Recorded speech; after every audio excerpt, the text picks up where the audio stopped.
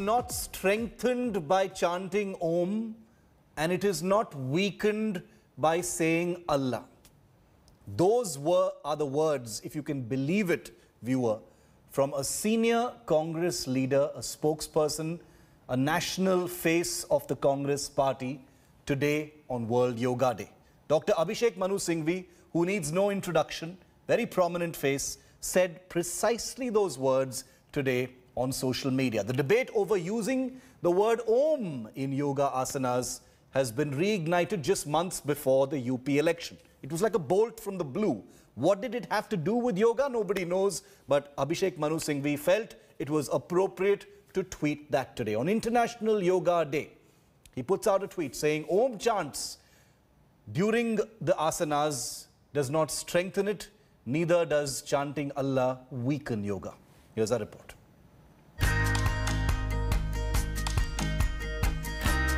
As India celebrates Yoga Day, as our leaders celebrate Yoga Day, as the armed forces celebrate Yoga Day,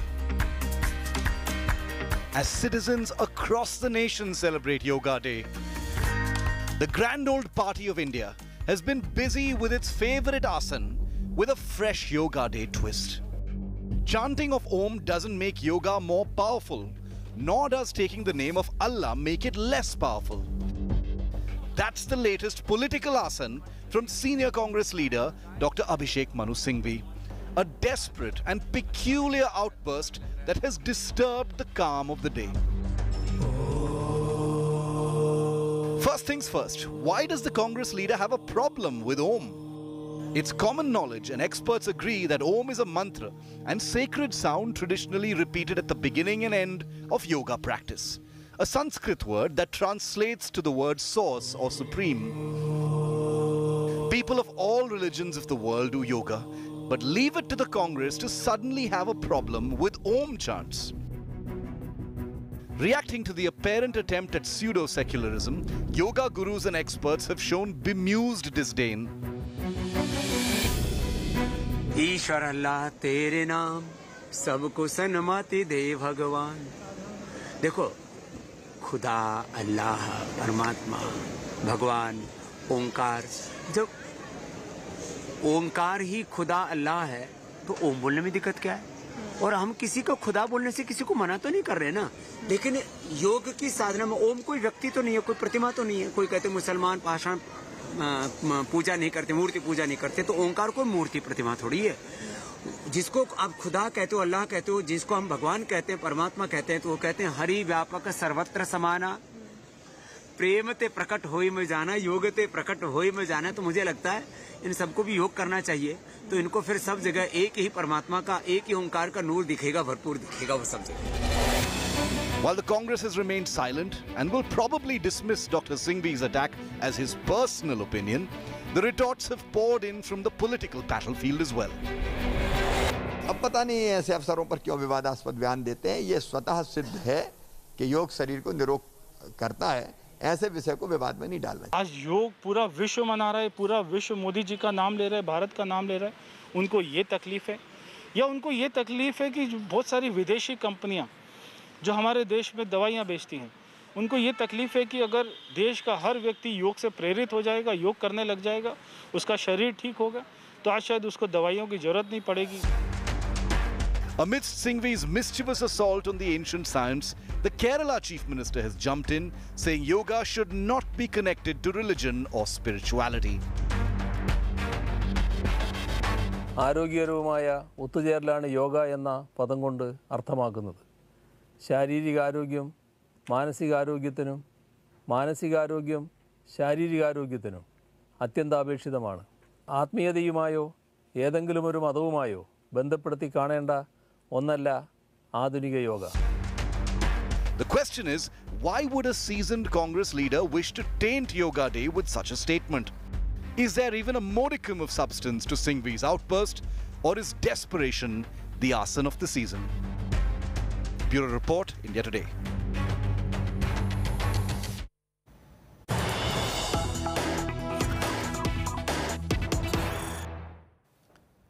And there's more yoga politics to be had. The Congress party has also attacked Prime Minister Modi after BJP MP Pragya Singh Thakur held a session with MPs today on World Yoga Day organized by the Lok Sabha Secretariat.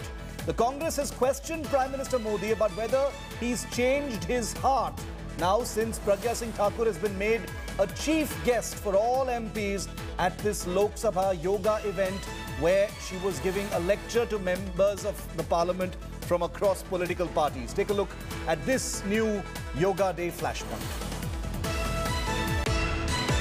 बड़े बड़े ऋषि मुनियों ने ए, योग की व्याख्याएं की वहीं अ, चुने हुए सांसदों को अगर प्रज्ञा ठाकुर जी जो सांसद है भोपाल से वो अगर संबोधित करेंगे तो ये दुर्भाग्य है। जिन पे जो जो आरोपित हैं मालेगांव बम कांड के मामले में और अभी भी उन पे अ, केसेस चल रहे हैं। और आज ये कैसे हो रहा है ये आश्चर्यजनक है और ऐसा लगता है कि यही भारतीय जनता पार्टी और आरएसएस का काम करने का तरीका है। कांग्रेस सदैव से राष्ट्रभक्तों के विरुद्ध रही है सन्यासियों भगवा के विरुद्ध रही है इसलिए उनको तो आपत्ति होना स्वाभाविक है और मैं ज़्यादा किसी पर ध्यान नहीं देती हूँ मुझे बस इतना कहना है कि ओमकार ब्रह्मांड है ओमकार से शक्ति है ओमकार से हम हैं ओमकार से मुक्ति है Sharma, my colleague from Bhopal, with me live. Hemendra, Sa- Sadhvi Pragya Singh Thakur back under attack this time for leading a Yoga Day lecture series with members of parliament. Well, yes, Pragya Thakur, uh, member of parliament from Bhopal, she addressed members of parliament online on International Yoga Day with the theme Yoga, Way of Life, and that is something that the Congress has created an issue about. The Congress party, of course, has raked up the Malegaon blast case, which they do every time when Pragya Thakur's name comes up. But this time around, they are also questioning the Prime Minister, saying he had said that he would not be able to excuse Pragya Thakur when she had sort of eulogized uh, the assassin of the father of the nation, Nathuram Godse. And also, the Congress party has raised certain questions that she has in the past made certain statements that had no scientific basis or evidence. For example, she said that she treated her cancer by patting and caressing a cow. So, uh, uh, the Congress party says that yoga is a scientific stream, it has got uh, scientific evidence, the way it uh, cures people, and uh, Pragya Thakur is the right, not the right brand ambassador for such an event. Okay, this is uh, likely to blow up even further. You've heard it first on India Today. We'll keep a track of the fallout and the reactions to that story. It's Yoga Day, and that's the reason why you're seeing all these developments take place. But to the initial story that we brought you of a senior Congress leader saying Om does not strengthen yoga and chanting Allah doesn't weaken yoga. You know, the questions that we're asking right now here on Five Live, why communalize an apolitical and non-religious global event. World Yoga Day is celebrated all across the world. It's not just here in India.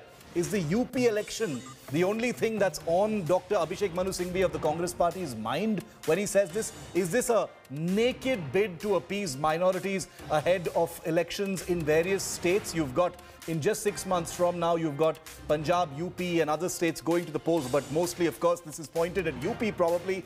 Is there a modicum of substance to Singhvi's outburst? There have been debates, substantive debates in the past, uh, you know, about religiosity in yoga, whether religion is a part of yoga. Those have been academic debates. But what Abhishek Manu Singhvi has said today is mischievous and provocative and obviously politically motivated. Is there a deliberate controversy or a publicity stunt by uh, Abhishek Manu Singhvi? Does the Congress endorse what Abhishek Manu Singhvi has said?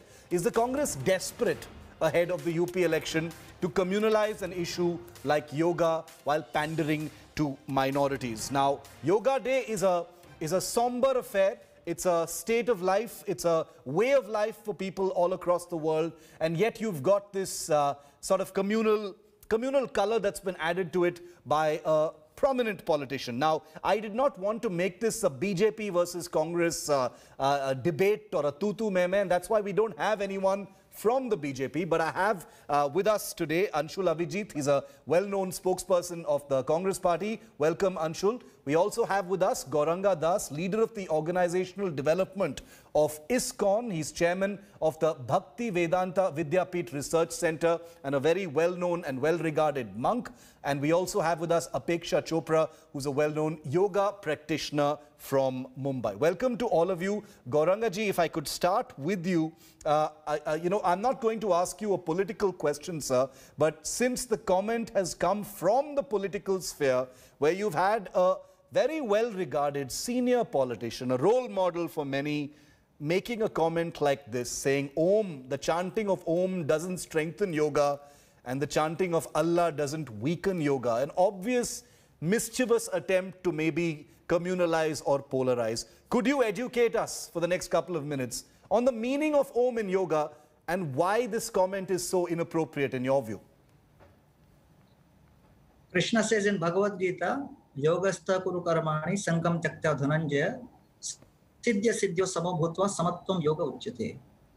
the whole concept of yoga means that number one, the first element is action.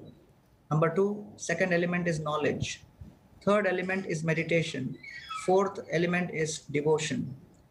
When all of these are dovetailed in offering our works, yoga karma kaushalam, to the supreme, that principle of joining is technically known as yoga. The word Om is basically like the password. If you have access, if you need money from your ATM, you need to have your password. If you do not have password, then you cannot access that money. Hmm. So therefore, in the mantras, which is basically various sound vibrations which help us access the energy and connection to the divine, these words have been revealed. So Om basically the offering of our consciousness to the supreme divine and it is very much part of the expression of divinity and the united nations general assembly while resolving to observe june 21st as the world yoga day they did it for four reasons number one choice they note that individuals and populations want to make healthier choices and want to have lifestyle patterns that foster good health Yeah.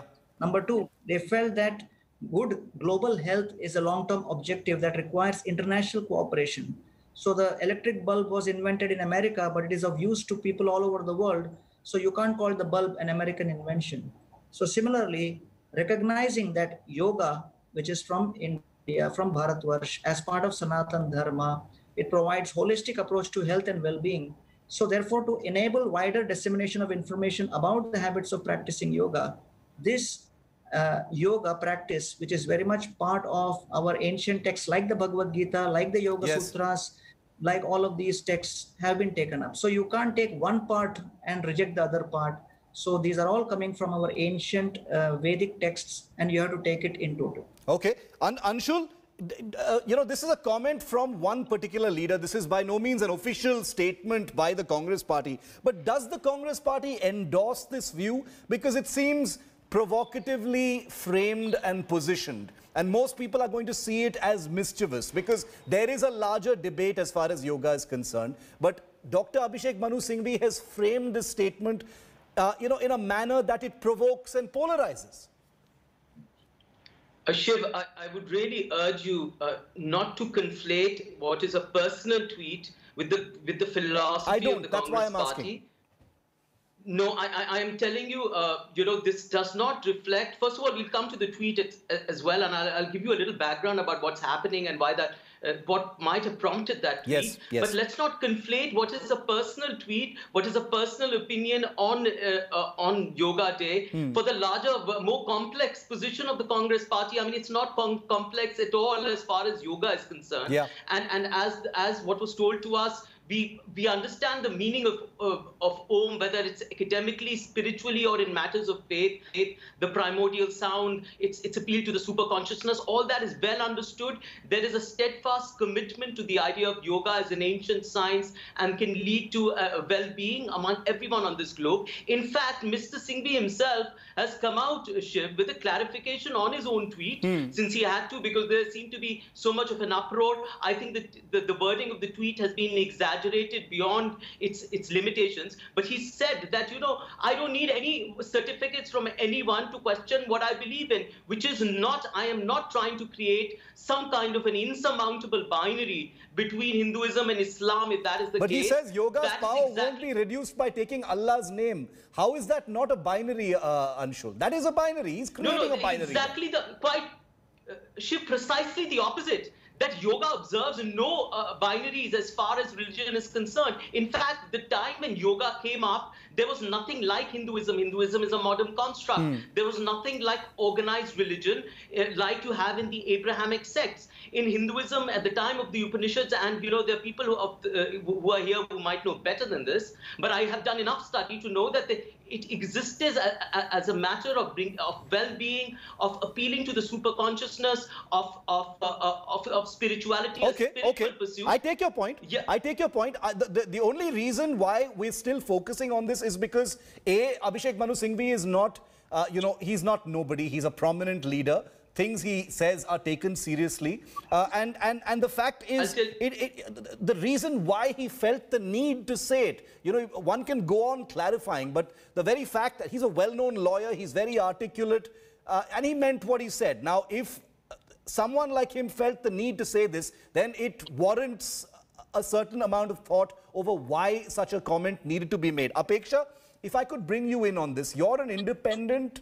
yoga practitioner, Apeksha. Uh, you do yoga, uh, you know, uh, uh, Yes. and uh, it's part of your life, it's part of your lifestyle. Has, has, this ever, has this ever entered your lifestyle or your questioning mechanism about why Om is used? And what did you think when you heard a politician, you know, have a problem with the word Om in yoga? Well, not have a problem, but put out a tweet that questions it.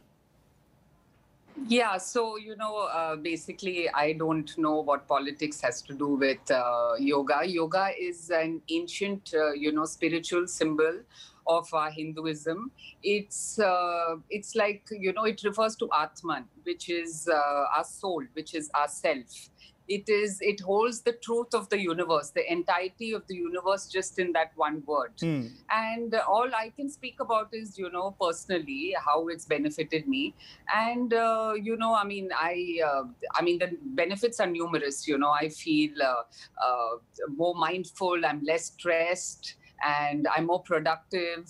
Also it is an ancient tradition you know which we start in the beginning of our meditation practice our yoga practice chanting om. You know it uh, symbolizes and syncs our three worlds which is the past present and future. So by chanting om and if you do it numerous times it kind of aligns your mind and body and consciousness you know and then over a period of time your mind is more stable. The physical benefits are a lot. I mean scientifically it's proven you know it can reduce your uh, you know blood pressure. Your heart rhythm is uh, stable. And uh, you know personally for me i mean you know it quite quietens my monkey mind uh, my spine is automatically erect you know when i'm you know when the om chanting is on and uh, it's it stands for the divine you know over Yeah. times over time in memoriam it's creation preservation and liberation Yeah. you know so i don't know i mean it's in our scriptures it's in our hinduism so you know i don't question it uh, personally it's you know worked for me i mean Hmm. i benefited with it you know leaps and bounds so Yes, i yes. can only speak about my personal experience No, that, absolutely, and it is, and the and the, Yeah. the thing about yoga is it is intensely personal. Gauranga ji also said the same thing. But my question to you, Gauranga ji, also is, you know, you've traveled the world. You're a practitioner of yoga. You've seen yoga happen across religions, whether it is Islam, whether it is Christianity, Jainism. It's not like people who are non-Hindus don't do yoga. There are people do yoga in all religions. Have you ever encountered anyone who says they've got a problem with the word Om in yoga? and added a religious color to it? I have not personally experienced uh, anyone in this because we also run the Govardhan School of Yoga, and across the world, people from different denominations do come and do connect it. But what I see is yoga as part of a, a, a, a healthcare system where if you consider mind to be very much part of the body, hmm. then just like a virus impacts the hard disk of a computer and the hard disk gets corrupted, you need an antivirus software. So the mantra is basically the antivirus software which removes the corruption of the virus of anxiety, stress, and depression And as all of you know, that 300 million people across the world are experiencing stress. So if you are looking at a more healthy world where people can connect with themselves, Hmm. harmony with themselves, harmony with the divine, harmony with nature, and harmony with other human beings, Yeah. then we would have a more sustainable life. Uh, Anshul, has this, you know, is this entire affair a nuisance? Something that the Congress could have done well without? You know, because we're here discussing something over a tweet by a prominent Congress leader, and the Congress is having to clarify on it and, you know, say that's not what he probably meant, and we don't really think about all that. Uh, you know, wasn't it just best not done in this manner, especially when you've already got a vitiated atmosphere in the country? There are other substantive issues to talk about, and yet you've got, you know, this to handle now. Shiv, do tell me if we've got a vitiated atmosphere in this country, why have a mischievous act? Uh, you're using this word repeatedly of appointing an MP from Bhopal as giving lectures on yoga. We just when did we that know story. how controversial she is. We did that What- story. No, hang on. That sorry. We, we, we broke that story right before we came to you, right here on this show. Exactly. That is why I'm referring to it. Yeah. That is exactly why. And I will tell you the context here and also have quotes from a person like some called yoga guru who's been anti-science and promoting vaccine hesitancy. Now, we, suddenly he's become this glowing metaphor for, for uh, yoga and yoga Though practice. made- Look, beyond he- any doubt, Shiv, Uh, Shiv, okay, beyond finish- finish any your point. doubt, I won't yoga interrupt. Yeah. transcends religion.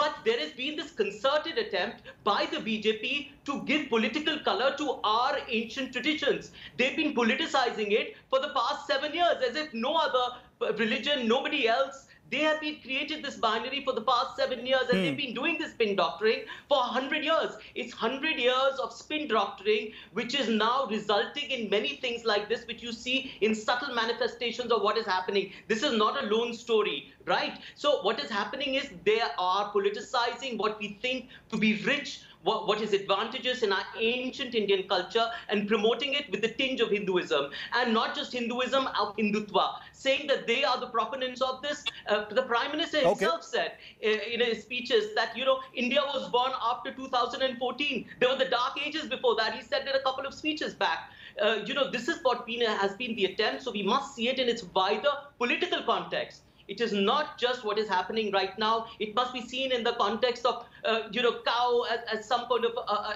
in urine as a prophylactic therapy, uh, you know, as if somebody is dying Okay, of breath okay. and you give a glass of I- I urine just wanted to say- that person and they'll come, come alive. You know, uh, Yoga Guru Ramdev has said very, very objectionable and controversial things about doctors in the recent past. We here on India Today have covered all of those stories and we've and we've rebutted many of the things he's actually said. But let me just say that on today's particular issue, the tweet by Dr. Abhishek Manu Singhvi, I actually happen to think that what Ramdev said in response to that tweet seemed to make perfect sense. I don't think even you would disagree with what he said, uh, Anshul. Just for the benefit of all of our viewers and to all three of you, let me just play out with what Yoga Guru Ramdev said.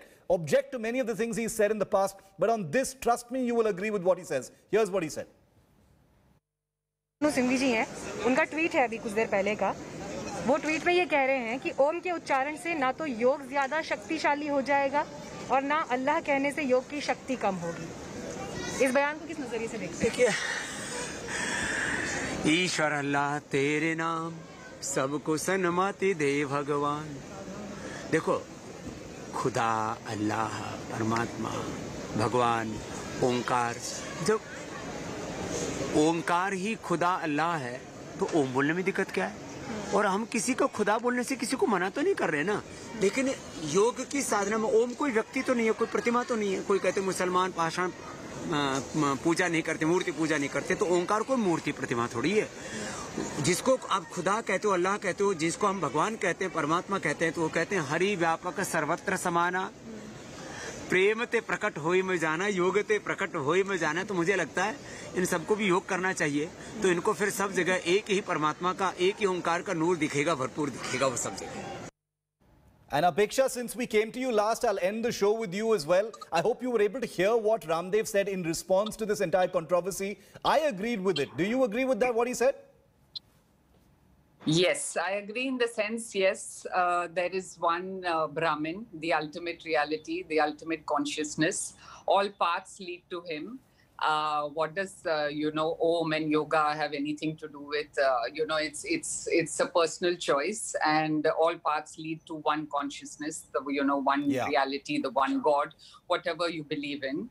And uh, yes, I kind of tend to uh, agree with him there.